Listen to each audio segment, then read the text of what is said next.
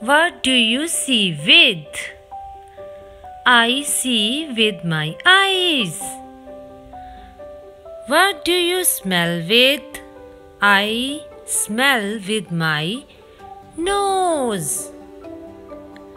How many hands do you have? I have two hands. How many legs do you have? I have two legs. Which is your favorite game? My favorite game is football. How many days are there in a week?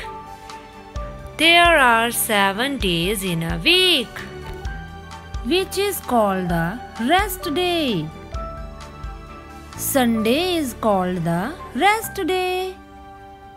How many months are there in a year? There are 12 months in a year. Name some four legged animals cat, dog, cow, elephant, deer. What do you bite and munch with? I bite and munch with my teeth.